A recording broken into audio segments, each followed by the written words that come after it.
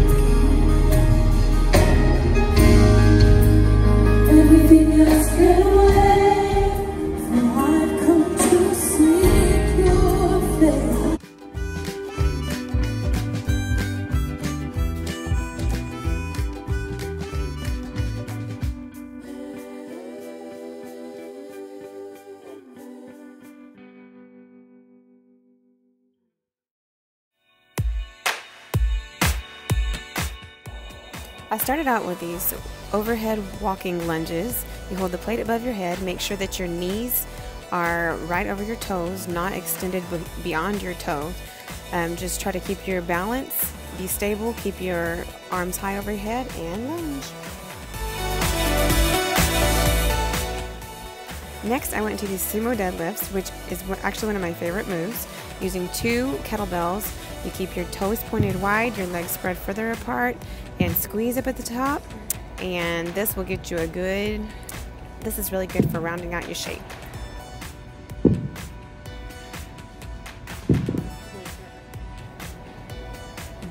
Single leg box step up. So when you go step up on the box, push through your heel, bring your other leg all the way to the top, squeeze at the top, and you can keep your leg on the box the whole time or you can take it off. But um, do each each side and this enables your legs to get an equal workout because sometimes we have imbalances. This will make sure that you stay equally balanced.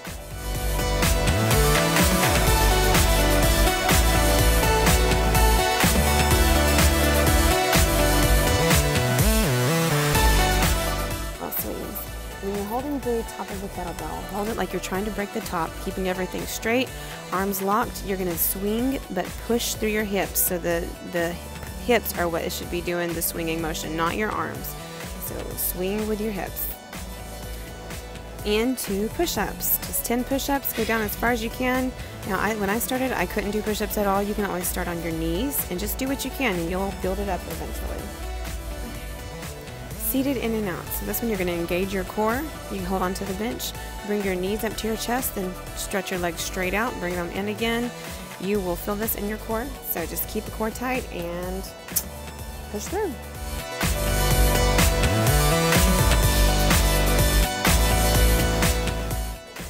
And burpees. This is a full body movement. You're going to hop up and then put your feet hands on the ground. You're going to do a push-up. It's not really a push-up. You're just pushing up off the ground but let your chest touch the ground. You can also do this with reaching towards the sky when you jump up just for a little extra challenge. But burpees just remember while you're doing it you're working your whole body so it's worth it. It does a lot for you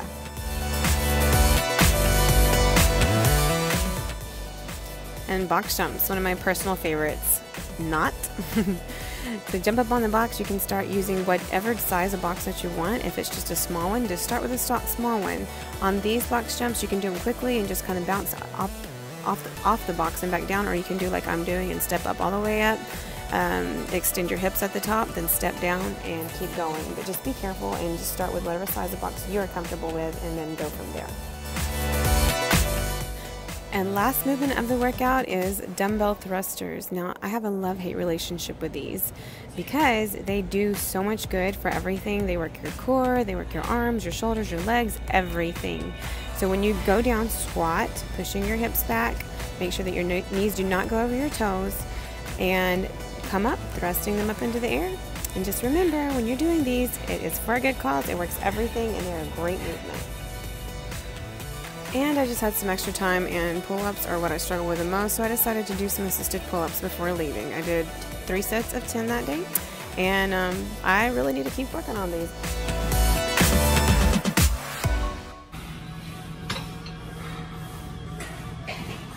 Okay, so disclaimer for the remainder of this video, this is not my house. We were staying in an Air Airbnb as we're trying to get transitioned over, job interviews, moving, all that kind of stuff. And this house is not my house, and it's cluttered. It was the older woman's house, and although she was a very nice host, um, it's not my house. I don't have anything to say because nobody likes my story anyway. Hashtag salty.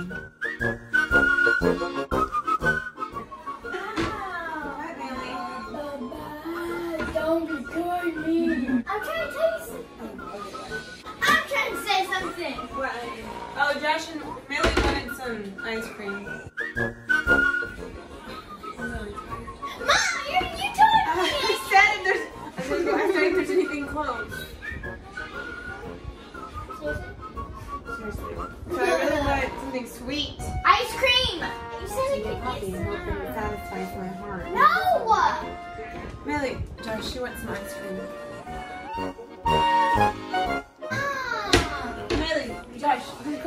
Candy? You started this. I know, I want something sweet, but I'm not willing to go. I'm not Okay, I'll take go and you stay here. Yes. It, how far is ice cream? How far, how far is ice cream? I don't know, I'm on my I'm phone. not a GPS. You can have coffee. This is called self-control. This is when you want it, Can but I you don't. something? That, okay. That's a good thing about not getting the junk food. I, I didn't get any junk food was at the store, so now, although I want it really bad, there's not, it's not even an option. You know, when you want something really bad, it's not an option. So this is good practice for that. You know, controlling yourself because I am not willing to go out of the store, out of the store, out of the store, out of the house to get it. Whipped cream it is. Really, if you look on my phone, there's no telling what kind of weird things you're gonna find. No, I want to. Want something sweet, and there's absolutely nothing sweet to eat. You make some coffee, put a And then little you bit of creamer, put this, and then for your little sweet treat, which there's some blockies in here. Sprinkle your whipped cream with sugar. There's any cinnamon in this house, and Whip, my whipped cream's melting. My whipped cream is melting! Right here, ground cinnamon. Jackson, no, don't eat that. Jackson. Voila. Does it? You still know that I'm, I'm not. It's actually pretty satisfying. Look. And then it's better than getting um it's better to do something like this. Feel a little bit guilty about the whipped cream and do get ice cream.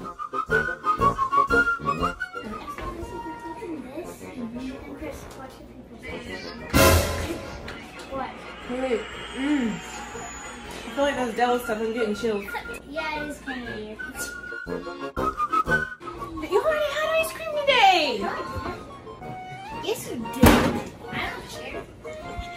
Just the wall.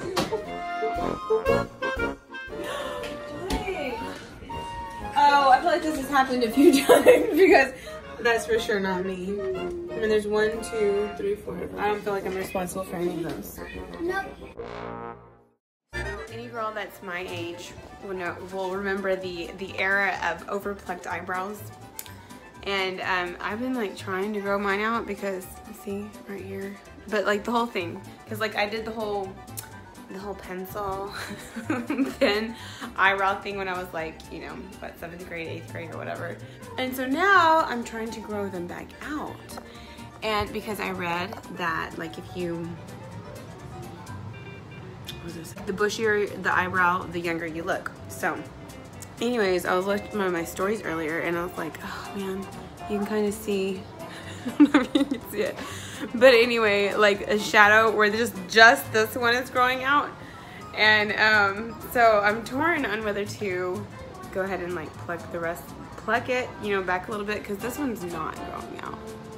Or just be patient and wait. But you know, one thing I don't want is like, you know, those guys that have like a few chin hairs and they don't want to shave it. And so it's like, it just looks kind of gross because they're trying to grow it out, but it's just not, it's just not happening. Anyways, I will say though, I feel like my eyebrows have come a long way in just the last few little, um, since I started growing them out, which actually probably been like six months.